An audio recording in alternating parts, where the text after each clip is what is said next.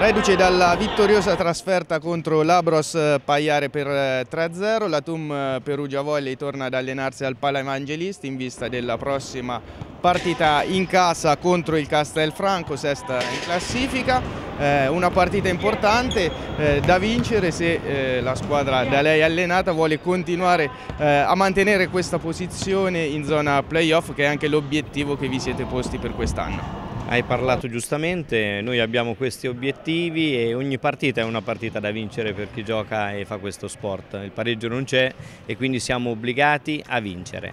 Eh, Pisa è una squadra forte, è una squadra determinata, noi veniamo da una trasferta che sembrava sulla carta facile ma ogni trasferta può essere a giusto qualcosa di diverso. Eh, sappiamo che sabato sarà un incontro duro con una squadra tosta.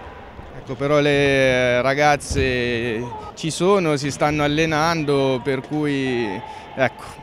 Le ragazze ci sono, l'avete viste questa sera, stiamo facendo bene, è un gruppo giovane che si sta allenando costantemente, è un gruppo che è determinato, molto molto giovane, quindi dall'altra parte sappiamo che ci sono squadre anche un pochino più esperte, con giocatrici più esperte, ma noi diciamo la nostra, specialmente sul palazzetto di Perugia.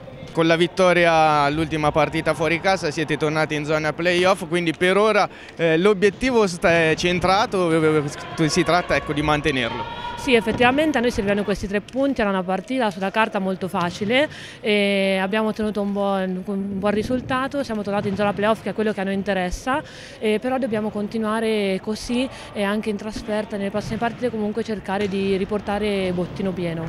Sabato abbiamo avuto una partita facile, quindi adesso sono tutti scontri diretti, adesso il bello viene ora, quindi dobbiamo confermare e tenere, cercare di tenere questa posizione, le altre squadre sono agguerrite eh, quindi dobbiamo impegnarci al massimo per, per tenere la posizione che in questo momento abbiamo.